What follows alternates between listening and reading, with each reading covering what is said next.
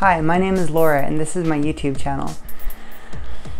If you've been watching for the last, I don't know, five episodes, whatever, um, you'll know that I'm a bike racer and I do a lot of stuff bike racing related. I'm getting better at editing my, my uh, videos.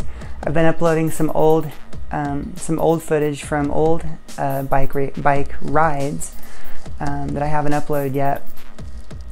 Um, still working out every day. In fact, I have a workout tonight that's going to be, uh, I'm going to do sort of a, a weight training workout. Um, and as far as my bike training goes, uh, this week I'm supposed to do an FTP test, uh, functional threshold power. I haven't done one since last summer, I think. So I think I've gotten stronger. I've, I feel like I've gotten stronger. Um, but to do a proper FTP test, everything has to come together if you want your numbers to be right during your workouts. So, you know, if your coach uh, prescribes to work out at 100% of your threshold or 90% of your threshold or 85% of your threshold, you have to know what your threshold is because if you're working on an old number, whether you've gotten stronger or weaker, then your workout isn't going to be quite tailored to what you need. So if you're at 100% of, an, of a threshold that's too low, then you're you won't get as much out of the workout. By the same token, if you're at 100% of a threshold that's too high, you're not going to be able to sustain the effort for the for the workout, and you're going to end up burning out before the workout's done. Um, neither one of those situations is good, which is why it's always good to have have an accurate threshold.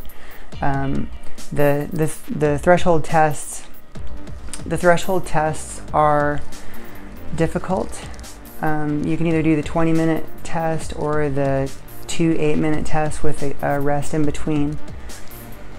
Um, both of them are estimates of what you should be able to do. It's actually really hard to do a full hour at threshold because there are so many things that come into play. So the best chance that I've ever had to get a full threshold effort out on the road for a full hour is during the the state time trial championships because that's a 40 kilometer time trial and it takes me a little over an hour to do it. Um, last year I was doing pretty well until I got towards the end and my legs started cramping up and I had to back off. Uh, the numbers were still okay. I beat my time, my 2016 time beat my 2015 time by about five minutes and that's that's a lot. Um, uh, that's a lot to beat any time trial time by. Uh, the the there's an early season time trial series that is sort of a good benchmark for what's going to happen during the season. But I always mess up at the at, during that time trial series because I can never seem to get everything right for those first few. Luckily, it's a it's a I think it's a seven race series with one spare date for uh, for bad weather.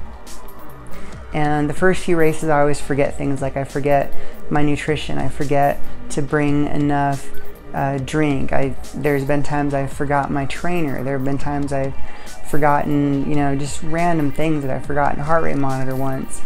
Um, and when you're trying to go threshold, uh, you can go by feel, which I tend to overdo it by feel. So if I'm doing if I'm going by feel, I go out way too hard, and then I end up having uh, to back off as the ride goes. And I really have um, I really have to watch my numbers to make sure I don't overcook myself on on any given time trial effort. Mountain bike racing is a bit easier to go by feel because you know it's it's all feel. Um, when you when you start, you have to go full blast to get to the single track first when you're in the single track and you're following someone, you are trying to keep up with them because you don't want to let them out of your sight. There is no resting, there's no drafting, there's no sitting in. Um, you just race. And if your skills are good, then your skills are good. Um, speaking of mountain bike racing, I, I bought, I think I showed a picture of my, of my new uh, hardtail frame that I bought in one of my last videos. But here it is again, in case you haven't seen it yet. Um, it'll be nice when uh, the carbon repair is done. Um, then I'll be able to pick it up. I'm, building a list of all the parts that I need to order to make it fully functional so that I can ride it. I don't know when I'll have all the parts. Um, I'm gonna try and go inexpensive on everything, on on as much as I can to get it built as soon as possible. Um, which means I'm gonna go cheap on some components. Uh, I'm gonna go for the full um, XT setup as far as the the the derailleurs and shifters and all that. Um, I'm gonna go XT. I haven't decided on which which uh, brakes I'm gonna use yet. Um, I might. Uh, I'll look at the various ones. I don't know if I'm gonna go Shimano or uh, I like the Avids. That's what I had on my old mountain bike. Um, but uh, still decisions to be made, uh, money to spend, which uh, I need to quit spending money on bikes. it's an addiction, I guess you could say. Addiction? Yeah, eh, but it's a fitness addiction, so it's not hurting me, I guess. Um, but just like I said after my last couple of bikes, uh, this should be my last bike purchase for a while. Uh, the whole the everyone talks about the N plus one is is uh, the proper amount number of bikes you should have is N plus one, N being your current number of bikes. I've never subscribed to that because that's just one of those things that I have never really been able to afford to do. Uh, right now, I feel like I have too many bikes anyway. Uh, I have two mountain bikes, two road bikes, a track bike, and a third mountain bike that I'm getting ready to build up, which the one I'm talking about now. Uh, it's a 29er frame, which I've never had a 29er, but it's large, so it should keep the front wheel out uh, out from being in the way of my shoes. If I get the right stem, it may it shouldn't feel like trying to drive a semi. Um, yeah, I should be able to make some decisions that, that should make it a little bit snappier. Uh, speaking of mountain bikes and wheels, on my Orbea, I recently tried to switch to uh, tubeless. And this, the valve stems that I bought, I don't know if it's the stems or if I've done something wrong or what's happening, but they they they constantly lose air around the stem, and I can tell because you can hear the air coming out. You know, the rim is taped fine; it's not coming out through the bead, but the the valve stem seem to be letting air out. So I saw a trick online where you can cut an old inner tube and then poke holes in the inner tube and stick the valve stem through, then stick it through the rim in the tire, and it will uh, put a little bit more pressure on it so you can tighten it down a little bit more and then it'll be fine. Uh, that's what I'm trying right now on one of my tires. Hopefully it works. Mm, hopefully. I don't know if it will, but hopefully. And I hope they'll work because they're purple. And I like purple, so it should be fun. My plan is to video some of my workout tonight.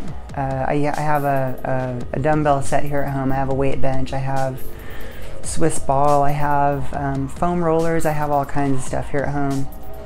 And I'm to video some of my workout. On another note, the team that I'm on, uh, the Primal Audi Denver women's team, if you've seen my, uh, if you've seen me on Strava, you see that there's like, I used to have PAWD, but I switched it to PADW because it's technically Audi Denver. And I just wanted paw because I like I like paw, like little kitty paws. Um, but I switched it around. So P A D W Primal Audi Denver Women. our team director uh, released what our new kits are going to look like, so we have those ordered, and here's what they look like. I, I like them. They're going to be kind of cool. Primal makes a really good kit, and they're um, it's really weird. The team that I was on before, the since we didn't have enough women on the team, we had to buy men's jerseys, and the men's medium was always really tight.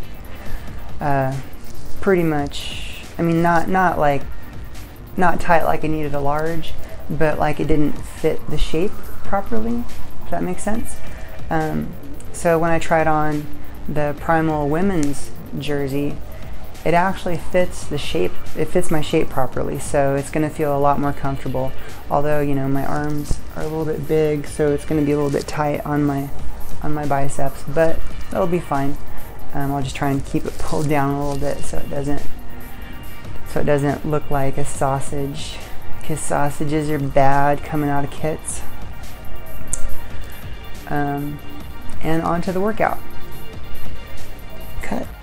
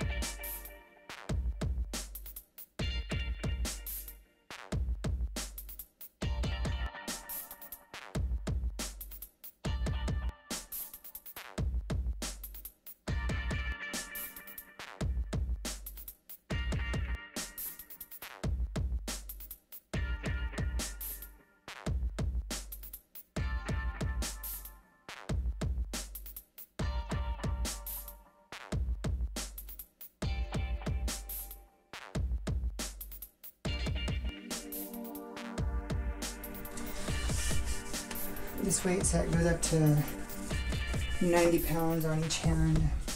I'm only doing 40 on each hand right now. It's been a while since I've been able to do anywhere close to the full 90.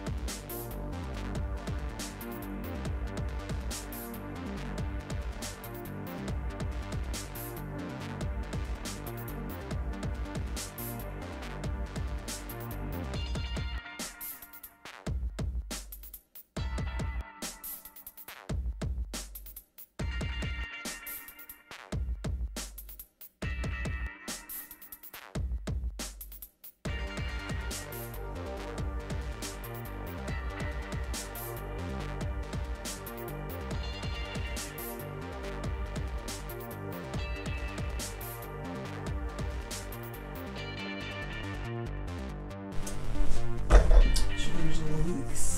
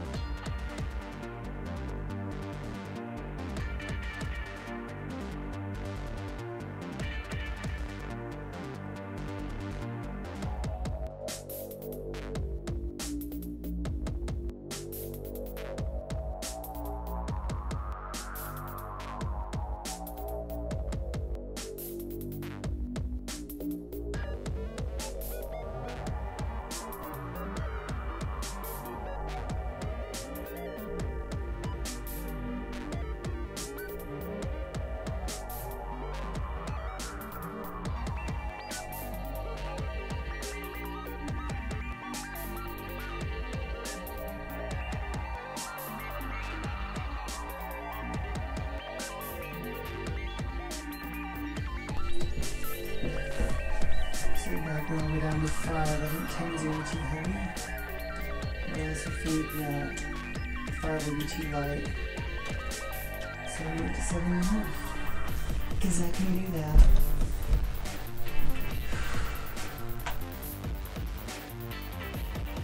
So as you could probably tell, the my phone battery died during the workout, so I didn't capture the whole thing. Uh, sped through it. Um, arms got pretty tired. It was an upper body workout. Uh, something I said after the phone stopped working was there's a shoulder workout, or most of the stuff in the shoulders is really helpful if you experience numb hands because uh, weak muscles, um, weak shoulder muscles tend to cause uh, overstress in certain areas. So it'll cause knots, it'll cause pinching, and uh, you know I, have I've had uh, nerve pinching in my shoulder when I let myself get weak. So I, as long as I keep myself strong, then I don't get numbness in my in my fingers and hands. And before, when I was talking about our two main team sponsors, Primal Wear and Audi Denver, um, we actually have uh, several other team sponsors that I'll mention now. Um, so Primal Wear, Audi Denver, FirstBank, Inspired Training Center, who I get my uh, coaching through with um, Coach Sue, Rudy Project North America, C3 Bike Shop. Um, I go to the one in Golden because I live closest to Golden. Uh, Feedback Sports, Honey Stinger, Garmin, and Skratch Labs. Support them because they support us, they support the cycling community. Thank you. And don't forget to like, comment, and subscribe. And I'll see you next time. Bye.